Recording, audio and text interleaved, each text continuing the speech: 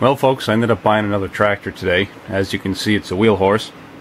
And right now this makes number 20 in the collection for garden tractors, not including all of my Gravelys that I have kicking around here also. So it's a 1969 Charger 12. It's a hydrostatic drive, manual lift, Kohler K301 12 horse.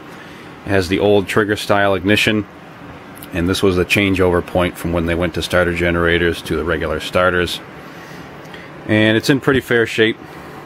I got this from a local guy around here I've been dealing with with some antique tractor stuff and he seems to find some pretty good deals and he definitely did with this one. So big thanks goes out to him. I ended up getting this for 125 bucks so obviously enough you definitely can't beat that.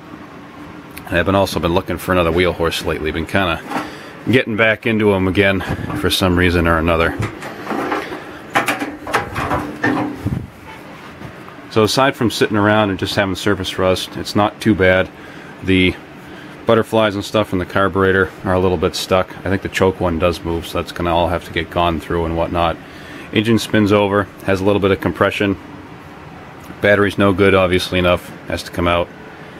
Gas tank, I think, is original from what I know of. I do have the larger style one that does come out to here, but I think this would be the original one for what goes in it. Wiring needs to be redone, obviously enough. That's all been kind of hacked through and whatnot. It does have the original seat, although it's cracked. You can see it has the original Wheel Horse embossed logo on it, which is pretty neat. Dash still has the cigarette lighter in it. And I don't know if the key switch or anything works. The throttle cable is stuck, and I do have another one kicking around here somewhere that I'll have to put onto it. Manual lift does move. So far the tires have been holding air for the past couple hours since I filled them up. No hitch on the back of it and you can't see it now but there was markings where there was axle latches on here at one point along with a attachmatic of some sort on the front.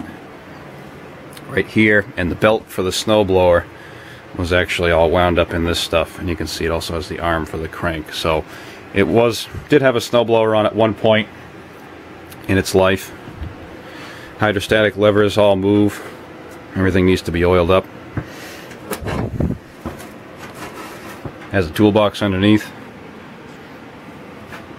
Transmission does have fluid in it and it's not too bad. It's a little dark but still a little bit red also which is always good. Needs tie rods in the front because they're broken and this one's actually missing on this side which I do have tie rod ends if I have to make them and I might actually have some extra wheel horse tie rods up on the hill up in the shed also. Was in pretty fair shape, nice and straight. And the engine oil is also good. I pulled the plug on that and checked that. And it's kind of got this cool shade of green on it from all the mildew from it sitting out under the trees and whatnot. So I'm sort of debating whether I want to power wash this or just leave it the way it is. Although I know if I leave it out in the sun, the mildew is probably going to end up going away. But either way, it is kind of neat.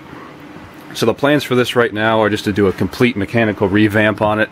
I love to do a restoration, but that's not going to happen for sure anytime soon.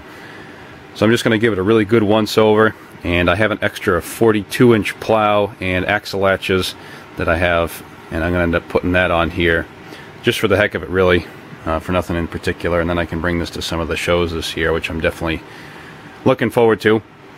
So after this video, I figured I'd give you guys an overview and make sure you all look for the repair series, or at least a repair video, depending on how much time I have to do the camera work and whatnot. So anyways, folks, there you have it. That's the 1969 Wheel Horse Charger 12.